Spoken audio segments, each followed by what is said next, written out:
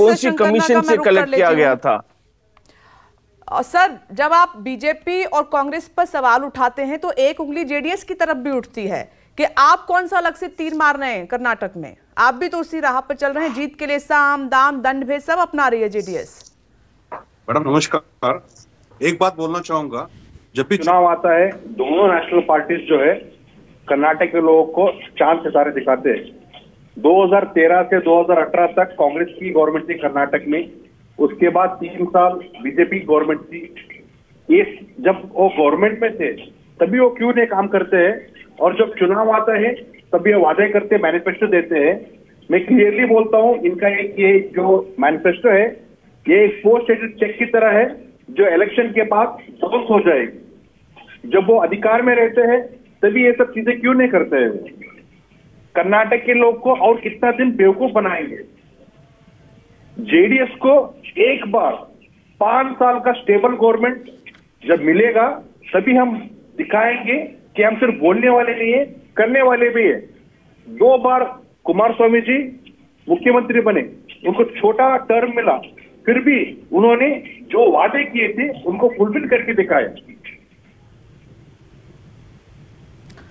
दो राष्ट्रीय पार्टियाँ उनको मौका मिल जाता है और कर्नाटक में जो रीजनल पार्टियाँ हैं, और भी राज्यों में हमने देखा है, वहाँ की जनता उन पार्टियों पर भरोसा करती है। जेडीएस पर क्यों नहीं है? आप क्यों नहीं आते सत्ता में?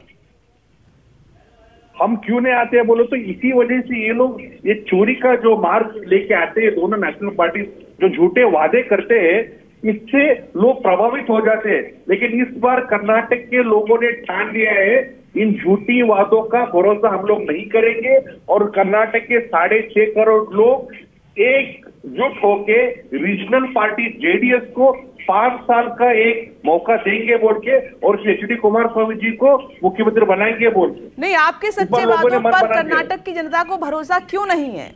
मैं ये जानना चाह रही इस बार भरोसा इस बार ऐसा क्या कर दिया है आपने कि कर्नाटक की जनता जो आपने इतने आपने भी फ्री के वादे बहुत किए और दूसरी पार्टी ने भी किया तो ऐसा क्या कर दिया है कि कर्नाटक की जनता आपके वादों पर भरोसा कर रही एक एग्जांपल बोल दो खलसा बोडरी इश्यू का जो मैटर है जब भी कांग्रेस अधिकार में होता है तो बोलता है कि चुनाव के बाद जब भी बीजेपी होता है तो बोलता है चुनाव के बाद जब भी सत्ता में रहते हैं स्टेट गवर्नमेंट में भी यही रहते सेंट्रल गवर्नमेंट में यही रहते तभी काम नहीं करते जब इलेक्शन का टाइम आता तो बोलते आप हमको वोट दीजिए हम आपको पीने का पानी देते हैं। तो इस बार कर्नाटक के लोग इन लोगों का ये जो चीज़ है उसका खुलासा हो गया है और उनको कन्विंस हो गया है कि जेडीएस ही एक ऐसी पार्टी है हमारी पार्टी है जो हमारे बीच रहेगी और इनका हाईकमांड बेंगलुरु में ही है। लेकिन बीजेपी कहती है कि जेडीएस की भूमिका मात्र ब्लैकमेलिंग की है कि जब रिज़ल्ट आता है उसके बाद से ब्लैकमेल करती है जेडीएस सत्ता में तो नहीं आ पाई। 2018 में तो हम लोगों ने ब्लैकमेल नहीं किया था। खुद कांग्रेस हमारे घर तक आके हमको ऑफ़र किया था कि आप गवर्नमेंट बनाइए और आप सीएम बने बोल के। 2004 में भी बीजेपी हमारे पास आई थी हम बीजेपी के पास नहीं गए थे। धनंजय गिरी जी। देखिए अभी कर्नाटक में 2021-22 में 58 बिलियन यूएस डॉलर का आईटी एक्सपोर्ट हुआ जिसमें 10 लाख लोग डायरेक्टली और 30 लाख लोग इनडायरेक्टली बेनिफिट हुए।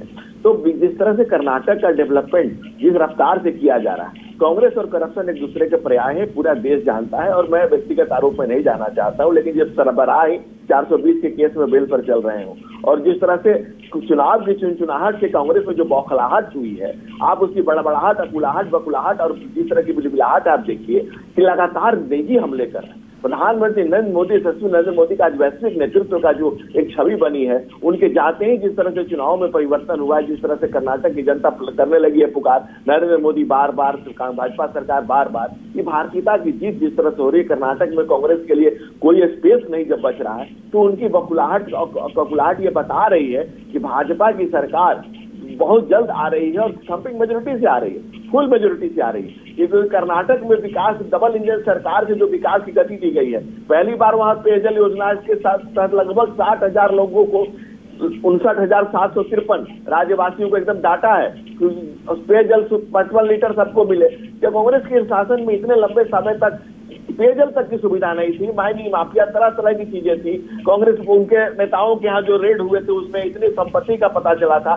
तो कांग्रेस की से देश, राज्य की जनता त्राहिमाम कर चुकी है और पूरे देश में यही स्थिति है कमोबेश आप उठा कर देखें तो।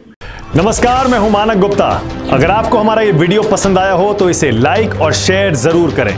और हाँ, हमें सब्सक्राइब और फॉलो करना ना भूलें, ताकि आप देश और दुनिया की कोई खबर मिस ना करें।